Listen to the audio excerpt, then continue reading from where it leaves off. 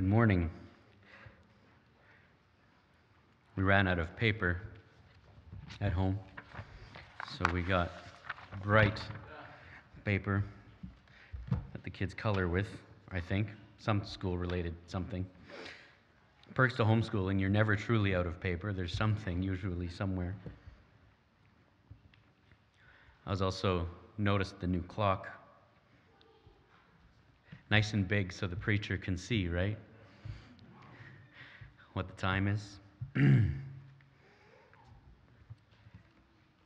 I will try to. Uh, remember last week I was struggling through the message, my voice sounded a little different. Uh, this week my voice feels fine, but I might be coughing uh, a little tickle. Just enough to be annoying, not enough to stop me. So here we are. Uh, we are again in the book of First John. So if you want to turn in your Bibles to that chapter, First John chapter 2.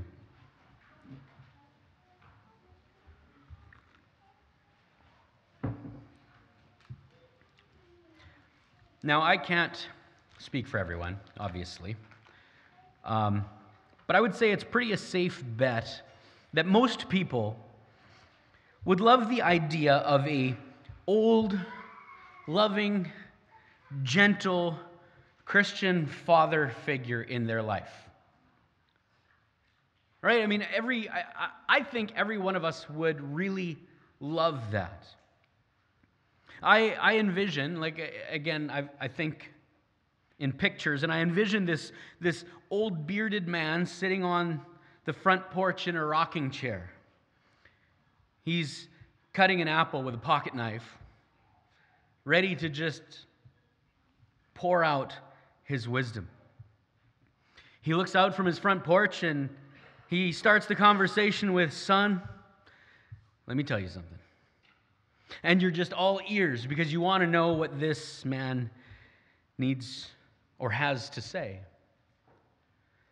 Unfortunately, for many, uh, that man doesn't exist in person.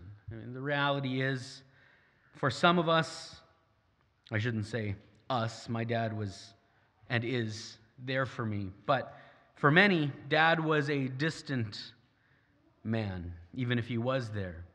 Grandpa, even more so. For others, dad wasn't just distant, he was angry, maybe even dangerous, almost disappointed at your very existence. And so, for, for you, the thought of having a man like this is almost unbelievable.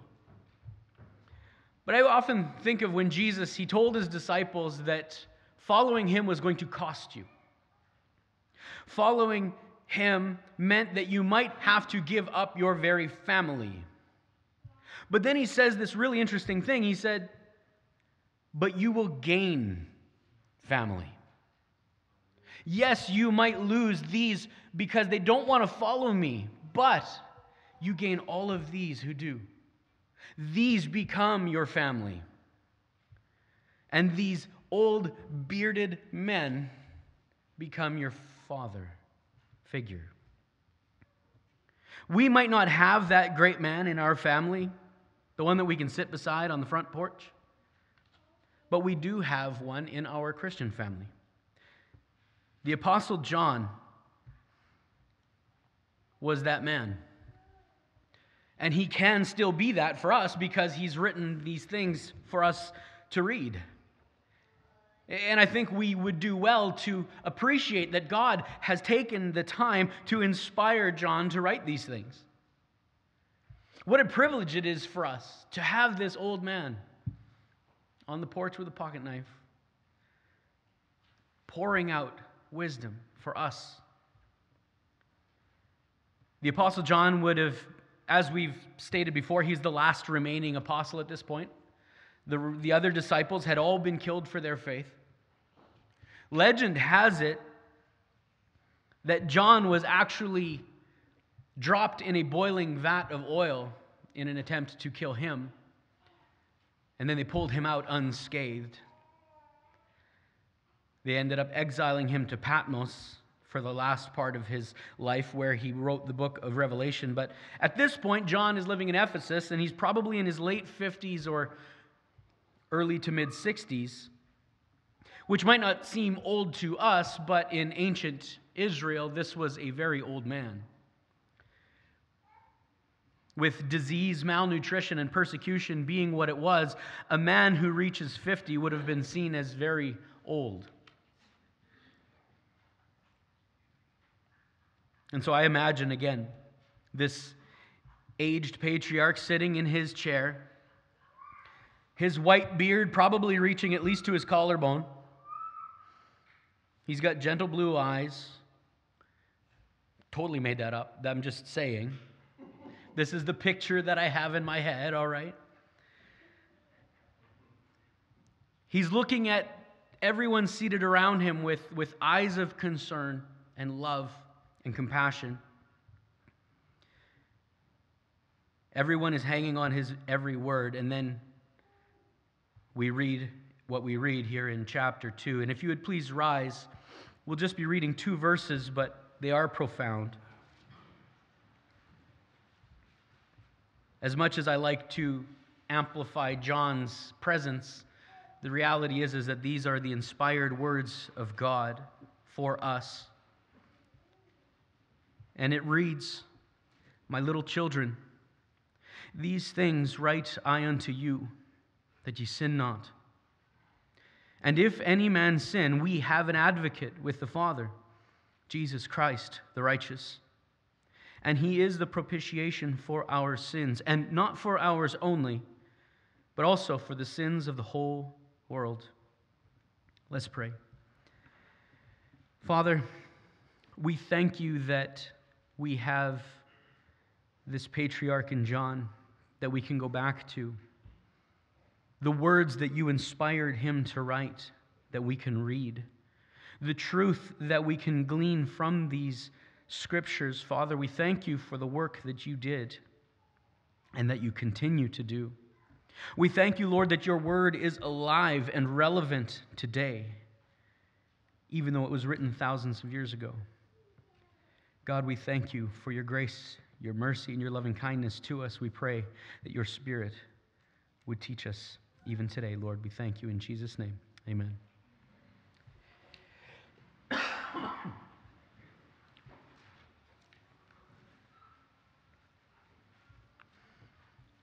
It's an interesting difference when you, when you study this chapter.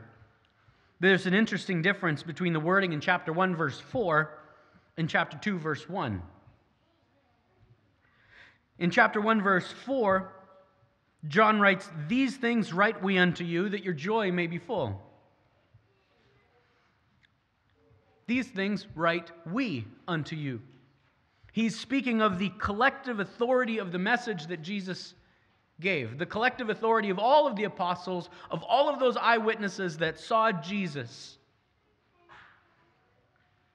He, re- he talks about what we have seen, what we have heard, what we have looked upon, what our hands have handled. He's telling the people, this isn't just me. We all saw him. Jesus was risen from the dead. We all saw him. Before culminating in verse 4, he says, These things write we unto you, that your joy may be full. And then it seems I envision he, he pauses for a moment. And then in chapter 2, he starts off with a much more personal tone. He says, My little children, my children. You can hear the heart of John on full display in this statement. He is suddenly filled with this just compassionate concern for the flock of God, a compassionate fatherly concern for the church and for their spiritual state. My little children, he says, these things write I unto you. Previously, it was these things write we unto you. And now John brings it in. It's not that the others wouldn't have said this or didn't, because we know that they did. But John wants to make sure they understand that this is coming from his fatherly heart for this for these people. These things write I unto you that ye sin not.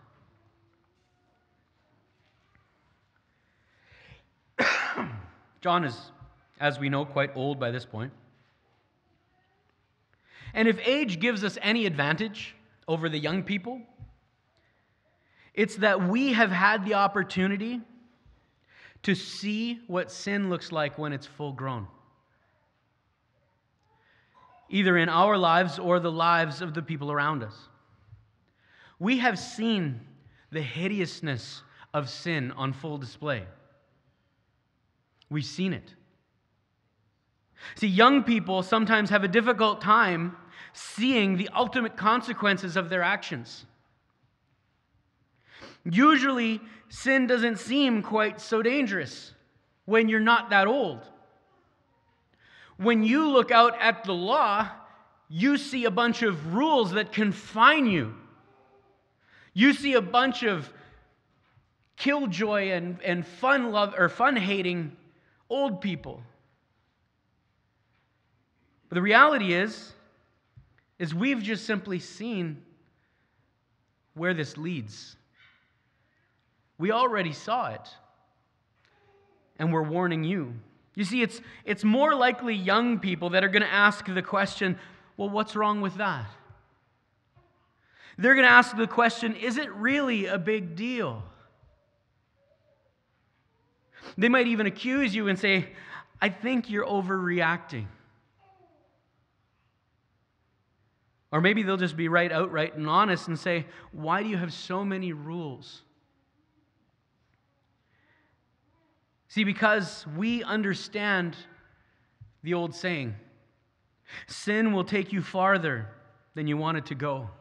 It will keep you longer than you wanted to, stay, and it will cost you more than you wanted to pay. We've seen it. I think many of us can even testify in our own lives that there are consequences of our own sin that we deal with even today. Even today. There are things that we did maybe 10 years ago, maybe 20 years ago. And the consequences of those things linger in our lives. Maybe we have memories that we cannot block out. Maybe we have relationships that were never able to be restored. Maybe we have physical illness as a result of the things that we did, of the sins we committed. You see, older people understand this, and John, being the oldest, fully understood this, which is why he says, My little children, these things write I unto you that you sin not. He wants them to see the hideousness of sin. I mean, according to Hebrews 3:13, why are we supposed to exhort one another while it is called today? Lest any of you be hardened through the deceitfulness of sin. This is why the Bible says we are to encourage one another, strengthen one another, exhort one another, lest we be hardened through the deceitfulness of sin. Sin is deceitful. And the older people have seen it. We've watched it deceive people. And we cry out, Sin not. You think about Hebrews 11:25 and it says that though he could have stayed in the palace, Moses chose rather to suffer affliction with the people of God. Well, what, what was the contrast? What was his other option? Moses chose affliction rather, or Moses chose rather to suffer affliction with the people of God than to enjoy the pleasures of sin for a season. See, the older people have seen it We've seen the pleasure of sin. Maybe we've even lived it. We've watched people chase pleasure only to ultimately receive pain. We've watched people choose money only to ultimately lose their family. We've watched people choose their own happiness to the destruction of their relationships. We were talking about it yesterday with some friends. My wife and I used to be involved in multi-level marketing company. Don't throw stones. It's a good company. It's great products. And if you stay after, I'll tell you how. No, I'm kidding. One of the things that these sorts of companies, and I'm, again, I'm no, no issue with the company or even the business model, but one of the things that happens is that you become very hungry to create a successful company, to make money. And, and one of the things also happens is that you begin to develop a group of people that we call the naysayers, the people who don't believe you can be successful with this company. Either they don't believe in the product or they don't believe in the business model, and they'll be quick to tell you. But what we found was that the encouragement that we were getting, what we were being told to do, was to cut these naysayers out of our lives completely. And what we have seen is that these people, in pursuing happiness, have literally destroyed families, have separated themselves from other people whom Christ calls them to love because these people don't support them in their goals and in their successes. If you can't support me and what makes me happy, you can't be in my life. This is sin. And the ultimate end is destruction. The people who we are called to love, we have no time for. See, we've seen it. We've seen the destruction of pride. If not in others, we've seen it in ourselves. We all remember that time when we stood up and said, I can do this, I've got this, only to fall flat on our face and be humbled before God. We've seen it. Yes, of course, sin can be forgiven, without a doubt. Uh, chapter 1, verse 9, we memorize it. Of course, sin can be forgiven but you cannot stop the consequences. The consequences will linger. And so we echo John when he says, These things write I unto you that you sin not. We must grow to despise sin and make war against it. We must grow to recognize the wicked, deceptive nature of sin. In Colossians, we're told to mortify, which means put to death and put off our sinful behaviors. Turn with me to Colossians chapter 3.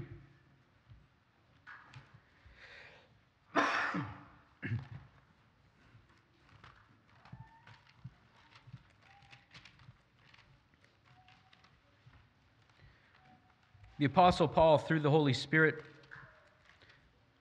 is very clear in this matter.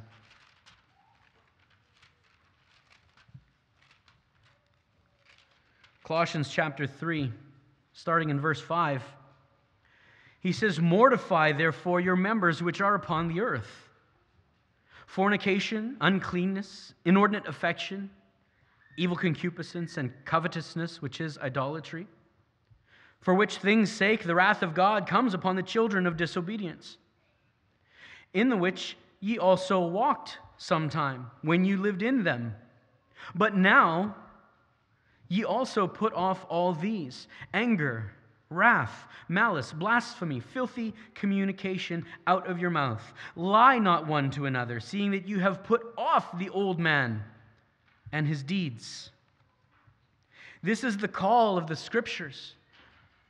Put off the old man, be rid of this sin, make war against it. Fight against it. Do not give it a quarter in your life. Do not give it any place in your heart. You must see the wickedness of it. We as human beings, we love to soften the language. We call it a white lie or a fib. The Bible says it is a lie and all liars will have their part in the lake of fire, the scripture says. We call it shacking up, living with my girlfriend, sleeping together. The Bible calls it fornication. And no fornicator will enter the kingdom of heaven. We call it same sex relationships. The Bible calls it sodomy. The language is very different in the scripture than the way we like to soft pedal it. Because we don't want to be uncomfortable. We don't want to hear the truth. But the reality is, is that sin is exceedingly sinful. And we must see that and make war against it. But we are also, and John is also realistic. He says, These things write I unto you, unto you that ye sin not. And if any man sin, you see, God's, in God's word, sin is not treated casually, but it is handled honestly. Yes, we should hate our sin. We should loathe the stains that it leaves on our flesh, but we do not believe in a sinless perfection. On this side of glory, this will be a war that we fight. We have this treasure in earthen vessels. Jesus said it best. He said, The spirit is willing, but the flesh is weak. The reality is, is that John doesn't, John says, through the power of the Spirit of God, sin not. And if any man sin, so the reality is is that we likely will sin. We will fall. We will stumble. We will show our weakness. So what do we do? Well, unfortunately, normally there's two ways that we react when we sin. We fall into two, di- two ditches. I fall into both, believe it or not, which is really hard. You manage to fall into both ditches. But first, the first ditch is we loathe ourselves. So we sin, we do that thing that we promised that we would never do again, and we, in a moment of weakness, sin.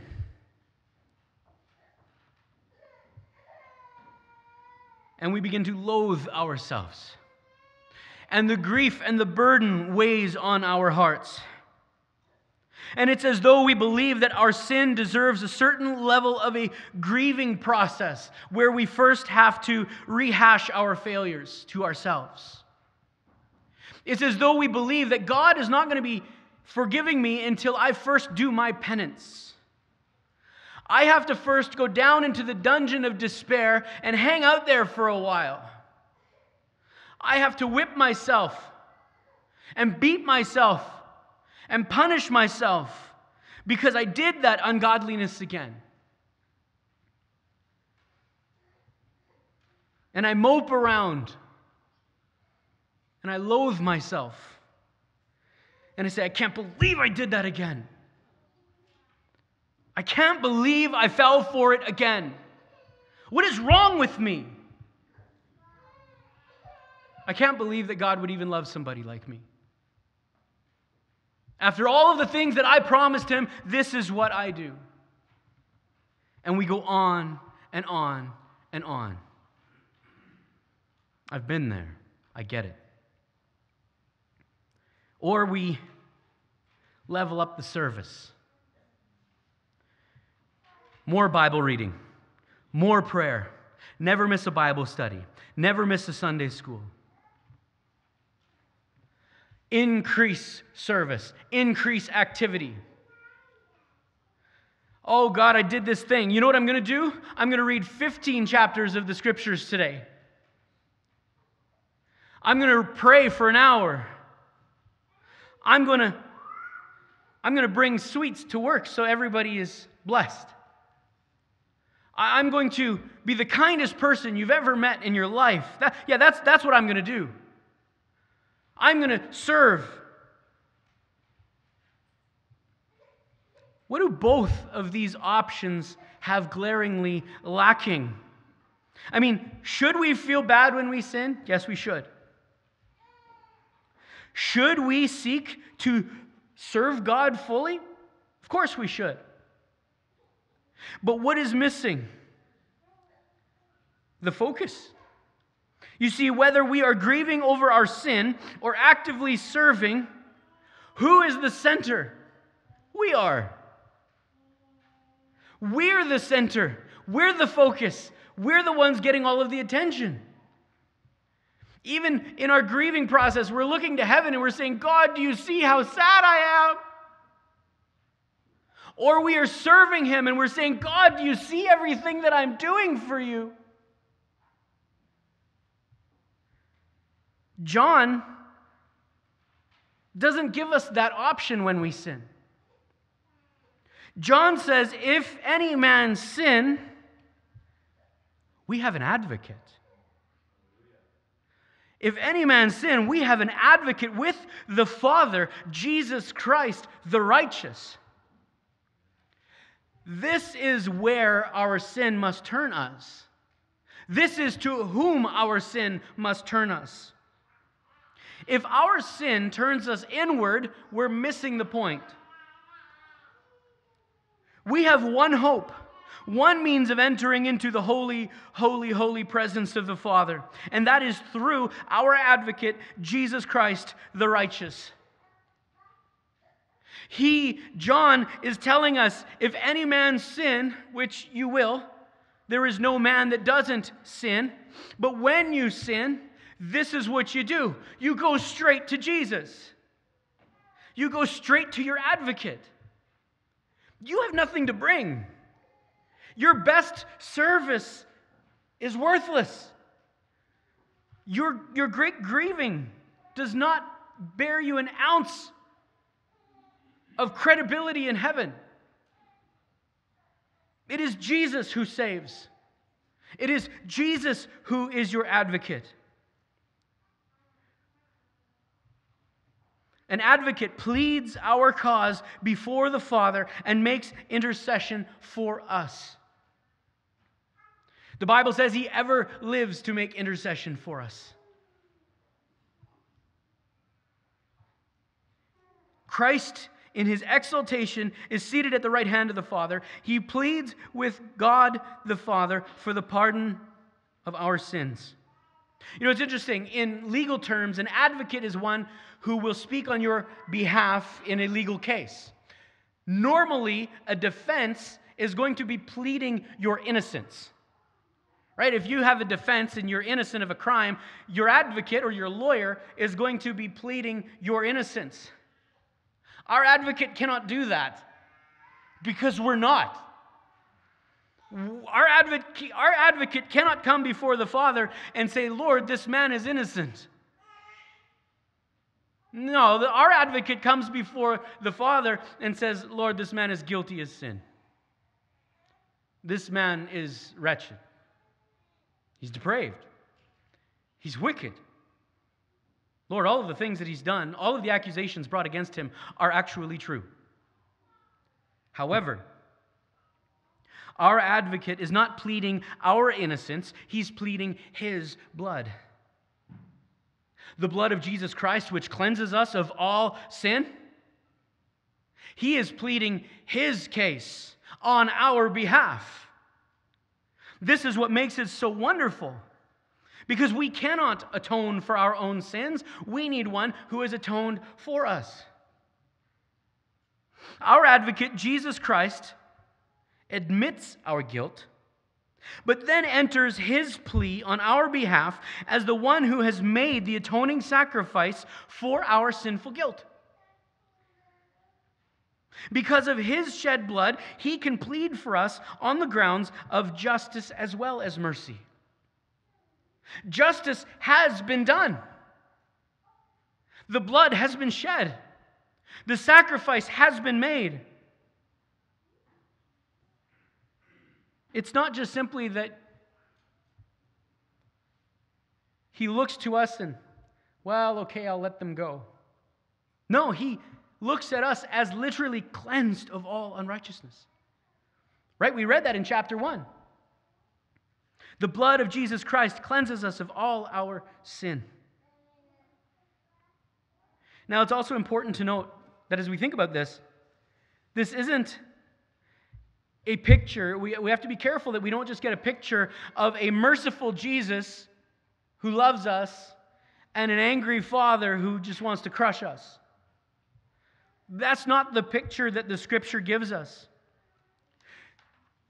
In fact, what was it that the Pharisees ultimately wanted to kill Jesus for? When he said, I and my Father are one. There is no difference between the way the Father looks to us and Jesus looks to us. Jesus and the Father are not in opposition to one another. There is no division within the Godhead, no separate agendas. In fact, when God met Moses to give him the law in Exodus 34, verse 6, it reads that the Lord passed by before him and proclaimed, The Lord, the Lord God, merciful and gracious, long suffering and abundant in goodness and truth. This is our God. There is no angry God ready to crush us and a son ready to come and try to hold him back. In Christ, God shows himself merciful. In Christ, God makes a way for us to be forgiven. And after God proclaims this, what does Moses respond? He bows his head in worship. He bows his head in worship. And so, as we ponder in our minds, as we think about this reality, that we have an advocate with the Father, Jesus Christ the righteous, may we join Moses in worshiping this amazing God. As we consider what it took to secure our salvation, may we worship with Moses this great and merciful and loving and kind God who has made a way through the advocate, Jesus Christ. but like a bad infomercial. But wait, there's more. He's not just an advocate. Verse 2 says, And he is the propitiation for our sins. And not for ours only, but also for the sins of the whole world. One writer wrote it this way He is to us all that is needed for propitiation in behalf of our sins. The propitiatory sacrifice provided by the Father's love, removing the estrangement and the separation on God's part against the sinner. I believe it's in Colossians. I'm just thinking off the top of my head. There's a scripture that says that God was in Christ reconciling the world to himself. He did it all. That's what makes the picture so beautiful. See, and this is why we have nothing to boast of. We can't look to heaven and say, God is happy with me because I fill in the blank. God is happy with me because of Jesus. He is my advocate, He is my propitiation, He is my all in all. The word propitiation and atonement come from the root word which means to cover. And it's a blessed fact that not only are our sins forgiven, but we are covered by Him. Jesus kind of gives this picture when he talks to Jerusalem. There's a scripture where Jesus is weeping over Jerusalem. And he, he says, Jerusalem, Jerusalem, how often would I have covered you as a hen does her brood? You, you get this picture of a hen. I remember I watched a short video clip a while ago. This, this, uh, what do you call it? It's a disc, but it's not a disc. It's a harrow, but it's not a harrow. It's a it's an earth. It's a it's a farming thing. I'm from Saskatchewan. I should know this. It's a it's a. There's only another one, right? There's there's the harrow. There's the disc. There's the cultivator. My word. All of my Saskatchewan people are collectively just. There's this video of this bird who had built a nest on a field and this, this camera is sitting there, and this harrow comes by, or cultivator. And as it comes by, it gets closer and closer. The, the, the tractor obviously sees the bird because he's got the camera set up. So he lifts it up and he comes over top. And you see this bird who's sitting on her, on her eggs. And she stands up and she puts her wings out like this. Like she's in full protection mode over her eggs. And it's, it's such a beautiful picture because the reality is, is if that farmer wanted to just put it down, the bird's dead, everything's dead, it's all destroyed. But this mother was ready to fight this thing, right? She was protecting it. The difference between the bird and Jesus is that Jesus actually has that power. When he puts his you under his wings and he protects you and he covers you. Nothing can get to you. You are covered by Jesus Christ, you are covered by his blood. Your sin, though it was scarlet, is now whiter than snow. The worst thing that you have done has been removed as far as the east is from the west. Jesus this, this word, this, that, this propitiation word, they come from a root word which means to cover. It's covered, it's gone. It can no longer be seen. He is the propitiation for our sins. Everything that needed to be done on your behalf has been done. But not for our sins only, but also for the sins of the whole world. Even the reformer Martin Luther recognized it when he wrote, Thou too are a part of the world, so that thine heart cannot deceive itself and think, The Lord died for Peter and Paul, but not for me. If you are in the world, you can receive this propitiation as well. This can be applied to you as well. What an amazing gift! It is available to all who will put their trust and faith in Christ. It is open. Not ours only, says John. It's not just for us. This is one of the reasons why he wants us to go into all the world. Tell everybody. The propitiation has been made, the provision is available. Do not deceive yourself and think the Lord died for Peter and Paul, but not for me. Oh, he died for you as well. And he wants to make a way for you. I was reading an article last week on this very thing. It came to my email, which I thought was pretty interesting. And I want to read this comment that he wrote about our advocate with the Father. When you're tempted to look at your sin and despair, or you're tempted to look at your life and want to ratchet up the service so that God will be happy with you. Instead, take your eyes off yourself, Take your eyes off of your weakness. Take your eyes off of everything that you can possibly bring to the table and fix your eyes on Jesus. Jesus, you must remember, is the God man. Jesus is our warrior Savior. Jesus is the greater David. Jesus is the great high priest. Jesus is the lamb that was slain. Jesus is the Father's beloved Son. Jesus is our elder brother, strong, attentive, mighty in kindness, the watchman on the wall who keeps the night shift as the storm rages all around him so that we can sleep soundly in our beds. Jesus is our peace. Jesus is our hope. Jesus is our continual Sabbath rest. There is no end to the goodness and the mercy of Jesus. May our sin, that we will sin, drive us back to Him. Do not despair. Do not despair. My little children, these things write I unto you that you sin not. And if any man sin, we have an advocate with the Father, Jesus Christ the righteous.